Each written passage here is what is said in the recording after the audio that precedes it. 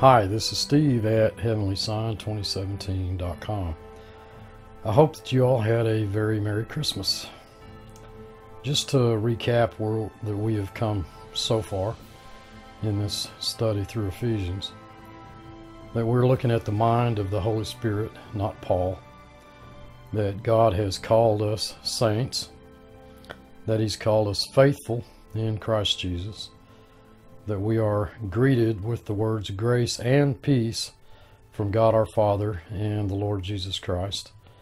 That we have been blessed with every spiritual blessing in the heavenlies in Christ, elected by a divine decree, chosen in Him before the foundation of the world, adopted into the family and the household of God as sons, redeemed through the precious blood of Christ that Christ became our kinsman redeemer, having died in our place, and that God has gathered together into one all things in Christ, that we have been sealed with the Holy Spirit of promise, given an inheritance, given a spirit of wisdom and revelation in the knowledge of Christ, ourselves being his inheritance, that we've been quickened to life in Christ and raised with him even when we were dead in trespasses and sins, and this entire process being the gift of God, given solely on the basis of His desire and His good and perfect will, not according to anything that we have done, but because of His great love which He has for us, or that we have been reconciled unto God, restored to a former position. Christ having annulled that enmity which stood between us and God through the blood of his cross, having abolished in his flesh the enmity, even the law of commandments contained in ordinances, he himself being the very fulfillment of the law which he himself gave, to create in himself one new man, thereby making peace, where the God has nothing whatsoever against us and how that we are said to be his workmanship created in Christ Jesus unto good works that and that it is these good works of Christ which God hath prepared uh, prepared beforehand or before ordained in which we are to walk in whom all the building fitly framed together groweth into a holy temple in the Lord in whom we also are being built by God into a habitation of God in the Spirit. But sadly, this is not what most Christians today believe. Rather, they, and I've got, I put it, I'm putting up here on the screen what I, I think is worth consideration. It's more of I wish. I wish I was a saint. I wish I was faithful. I wish I had God's grace. And I wish I had peace. I wish God would bless me. I wish I felt secure. I, I chose God. And I hope God loves me. And we still have to keep the law. I hope I go to heaven and, and more. The problem is not with what God hasn't done or with what the Christian has failed to do, but a refusal to believe God that what he has said is true.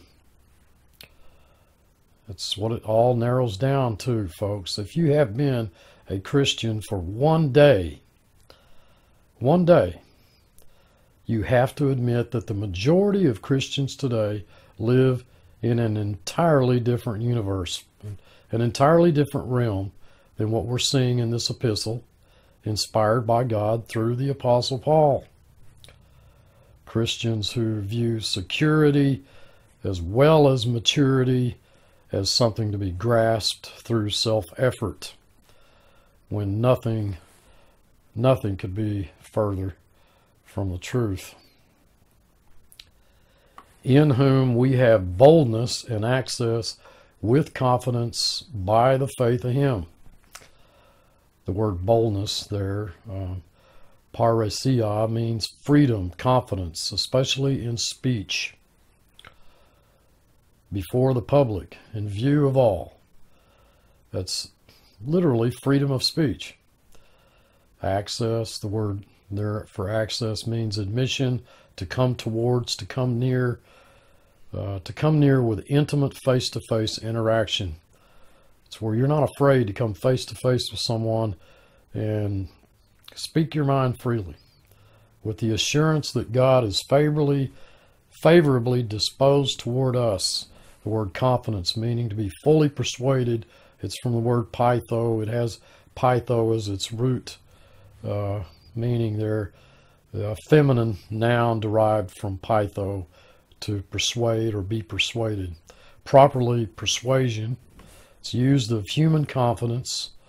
It's also it's used in the you see it in the negative sense, but more commonly it's used to denote spirit produced persuasion through the faith in him. Wherefore I desire that ye faint not at my tribulations for you, which is your glory. I desire. I desire is a very strong word. It means to beg to, or to demand. Uh, faint, meaning to grow weary or weak, or to fail in heart. Now, I want you to note what God does not say here. He doesn't say, My tribulations for you that lead to your glory. Paul says, My tribulations for you, which is your glory. He actually equates the two as being one and the same. The word glory, doxa in the Greek, is a word that means uh, what evokes a good opinion, uh, that something has an intrinsic worth or value. There was no way that the Ephesians could have known what their value was to God unless Paul suffered for their sake. Just as there's no way that we can know what our value is to God unless Christ suffered for our sake. And neither could they realize their value or their worth, what they were worth to God, except through the hardships that Paul encountered. We're not to grow weary over that which is working for our ultimate good. For this cause I bow my knees unto the Father of our Lord Jesus Christ. The word knees there is plural. It's both knees. Both knees. So, why does Paul say Father of and not just our Lord Jesus Christ? And why is Paul bowing both knees unto the Father while in the most difficult circumstances or state of tribulation that he's presently in? Well, let's go on of whom the whole family in heaven and earth is named. Now, that word for family is the word father in the Greek. Lineage, ancestor, ancestry, tribe, those who lay claim to a common origin. The grammar suggests out and away from the one of whom the name is derived. I believe God intends that we understand that the believers the saint's common ancestry links back to the Father. Running back to our Heavenly Father as being the progenitor. And Ancestry.com seeks to provide insight into this as far as our earthly lineage is concerned. God has adopted us as sons, His sons, all being traced back to a single Father the Father of our Lord Jesus Christ. With the emphasis being on the phrase the whole family, the family of God. We are family. We are family, related by adoption, whether on earth or in heaven. It's not a potential father, like a hopeful father, like I hope he's my father, or we are members of God's household that he would grant you, according to the riches of his glory, to be strengthened with might by his Spirit in the inner man. That's not the flesh, that's the inner man. There's no strength in the flesh. The flesh profits nothing. The phrase, he would grant you, is in the subjunctive mood of uncertainty. Maybe he will, maybe he won't. We're not looking at the indicative mood of certainty here.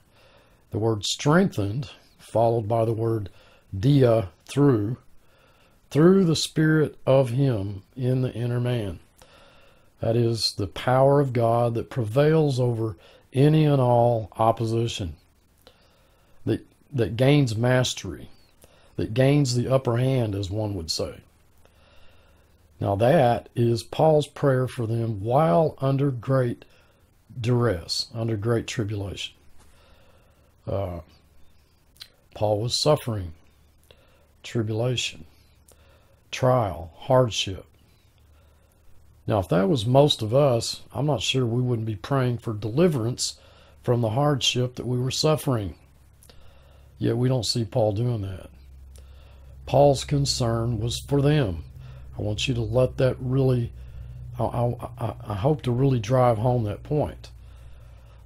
I find it hard not to suggest that Paul certainly had to have been strengthened with might through God's Spirit in his, in his inner man to be able to pray that his hearers would become the same. It, that's what it takes. Strengthened with might through God's Spirit in their inner man and that to beseech God for one's own deliverance from such hardship is really it's it's a response originating from the flesh. I just want out of this. God, I don't want to go through this. You don't see the benefit of it, not for yourself or for other, for uh, anyone else. The it would not be a new man response. Yet I suggest that that's what many a Christian today would want. And it's it's one thing to say, and rightly so, that we grow stronger through trials. Most believers understand that. That we benefit by them, that we derive benefit through those trials, that we grow stronger as a result of them. It's an entirely no, uh, another thing to realize the fact that that they are never given nor intended just solely for us to be the sole benefactor of those trials, but that God views such tribulations as that which is for the sake of other members of the body. I don't see how we can come away from the words of this text believing anything else. And that is a tremendous, tremendous truth. That, that's a truth that should grip the very heart and soul of every one of us. And moreover, the emphasis is on our being strengthened with might by God's Spirit in the inner man as opposed to the outward man or the flesh. It's the working is taking place on the inside, not the outside. In what God is doing, not what we do for God. May be able may be able to comprehend with all the saints what is the breadth and length and depth and height. Well, fully able is the word there, perfectly able to have strength for the task, aggressive strength at work, getting past the knowledge gaps, laying hold of. And again, it's a subjunctive that you might be fully able to comprehend. That is to seize tight hold of, to catch, to capture, to appropriate, to aggressively take or seize that's that's the word that we're looking at.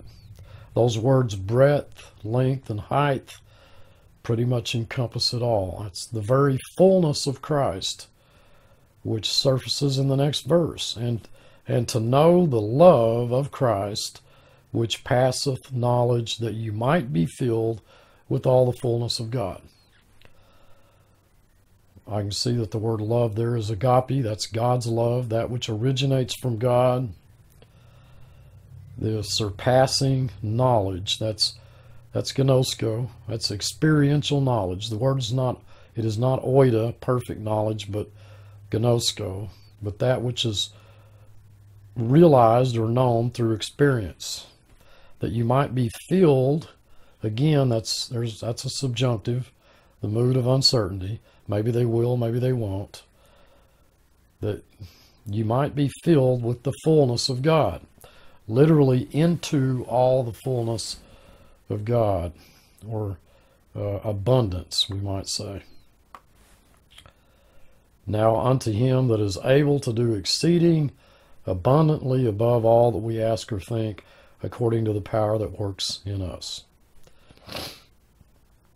Now, I don't know about you, but it seems most obvious to me that God's desire for us that we are seeing expressed here through Paul is a far cry from what most believers today believe is God's desire for them, as well as what our desire should be for one another in the body of Christ. And that God's sole interest, his, his whole interest, is in that which pertains to the inner man, not the outward man, not the flesh. And that our focus is to be on Christ, not ourselves. That these desires of God are laid hold of by faith, which produce the righteousness of God. It's faith's righteousness, being rooted and grounded in love, that being God's love for us that God is completely capable, whereas we are not. That our strength comes through Him and not of ourselves. Or that we have boldness and access to Him through faith in the perfect, finished work of Christ. Now, if you believe, if you believe that this is what you are being taught today, from most modern pulpits, then you have been, well, you've been genuinely blessed. But if we're to be honest with ourselves and God, we have to admit that this is not what is commonly taught or believed today among most Christians who profess to know Jesus Christ as their life. We are here looking at Paul's desire expressed through the Holy Spirit toward his people, Christians, not non believers. This is God's love letter to you. Not just this epistle, but the entire Word of God is His love letter to you. So, how, how do you read Scripture? Do you read the Word of God as if it were just some instruction book on how to live the Christian life? Just, you know, like it was some computer manual. Or have you come to realize in the Spirit of grace that God has given you that it is, in fact, the revelation of the person and the work of Christ on your behalf? There's only one reason why Christians today are so unconcerned with what we are learning from the text here. One reason why videos like this get so few views as little views as they do. And that is because Christians today are too busy trying to serve God in the flesh. That's perhaps all they've ever known. They don't know anything else. To them, the they you know, they just skim across the surface. To them, the Christian life has never been anything but striving to put their best foot forward so that God, maybe God will be pleased with them. Or in the worst case, that they will somehow earn God's acceptance or earn heaven. When the truth is, is that they have been accepted in the beloved, and that the life we live is not I, but Christ. God's desire that we see expressed here through Paul for these members of God's family is my desire, my prayer for you all as well.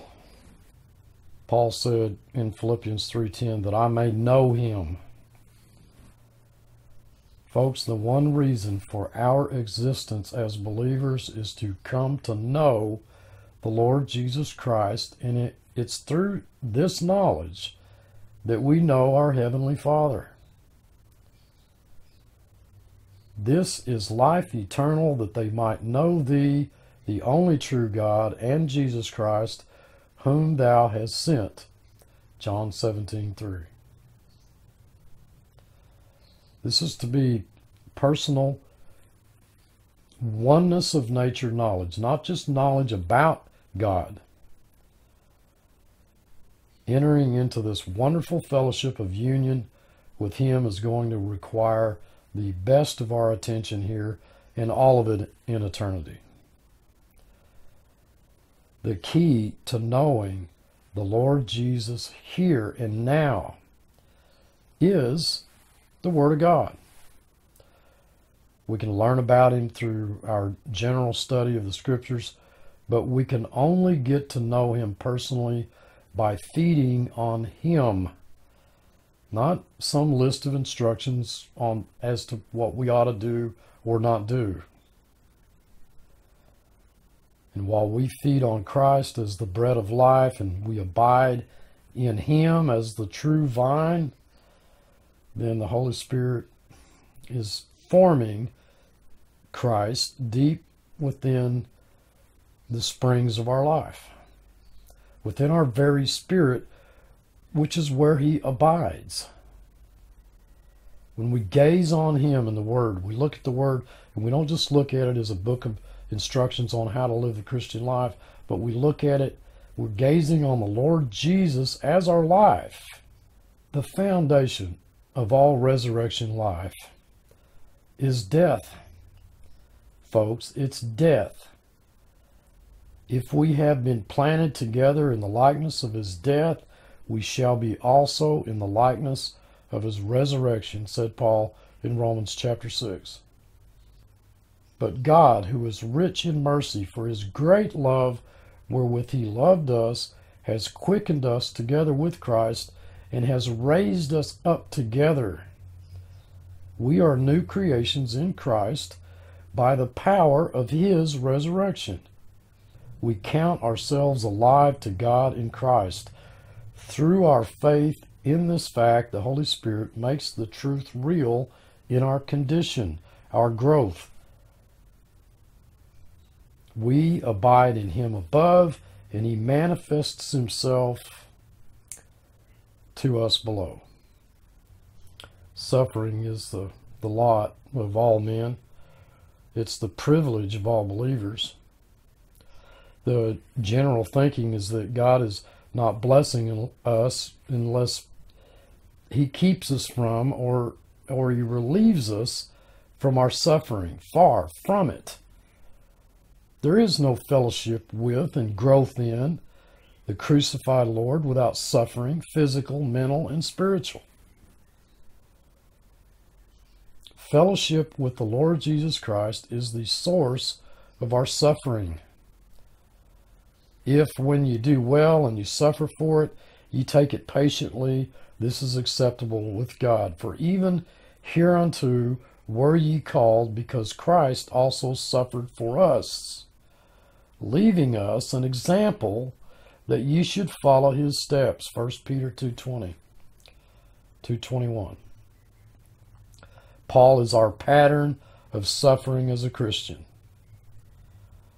As soon as the apostle paul was saved the lord said i will show him how great things he must suffer for my name's sake always delivered unto death for jesus' sake 2 corinthians 4:11. Paul's sufferings came indirectly from the nail-pierced hands and the spear-pierced heart of his Lord. And all these things were working together for his good. Notice Paul's attitude. I obtained mercy that in me first Jesus Christ might show forth all long suffering for a pattern to them which should hereafter believe on him to life everlasting. For I reckon that the sufferings of this present time are not worthy to be compared with the glory which shall be revealed in us. It's through suffering that we learn something of the process of growth, knowing that tribulation worketh patience, and patience experience. Romans 5 3. And as we remain within the crucifying influence of the cross, dead to sin but alive unto God, we are free to abide in the life giving influence of the, the one who's raised, the resurrected one, Jesus Christ. in whom we have been raised. We are to be conformed to his death as the basis of our being conformed to the image of his life out of death. In this world that we live in here, folks, we are as pilgrims, crucified followers of our crucified Lord. Jesus said to them all, If any man will come after me, let him deny himself and take up his cross daily and follow me.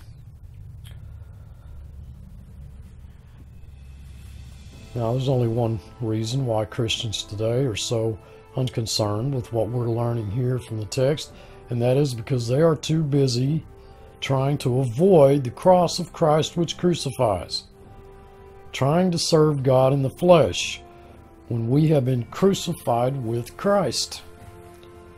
They don't know anything about life out of death because they haven't experienced that death. They haven't come to the end of themselves. When, when I'm reading through this epistle, I see in every every jot and tittle of what I'm looking at is the focus is on anything but the flesh being alive and profitable in some sense as far as our walk and our service in Christ. They don't know anything else. They don't know the way of the cross. They, to them, the Christian life has never been anything but striving to, to keep the law so that God will be pleased with them. I, I've told people time and time again, I'll keep on saying it. We're putting the cart before the horse when we do that. You're not reading any of that here. What you're reading here, what you're learning here, what you're seeing in these in these in these uh, verses in Ephesians is anything but that. You're seeing the reverse of what is commonly thought to be to the, the, the very Christian life. God is laying a foundation. He's, he's showing you what we have in Christ, our possessions that we have in Christ, our position in Him, how much we've been blessed, just the enormous amount of blessings that we've received in Christ. It is only based upon this that we then move forward, as we'll see in the following chapters. And our service is based upon who we are, not it's not based on some idea, some faulty erroneous idea of, well, if I can just do this or do that, then I will become this or that. That's what I've been trying to impress upon my listeners through these teachings through Ephesians. There's a foundation. We have to have these foundational facts in order to move forward and to grow in grace and knowledge of our Lord Jesus Christ.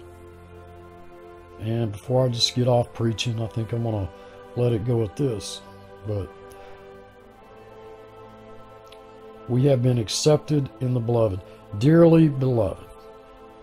God has nothing against you. You have been accepted in the beloved. And the, the, the life that we live is not I, but Christ. It's the righteousness of God that's based on faith. And God's desire that we see expressed here through Paul for these precious members of his household is, is my desire as well, my prayer for you all as well. I thank you all for listening, and I thank you for your love and your feedback, your positive messages of encouragement. I truly do. Until next time, this is Steve. Thanks for listening.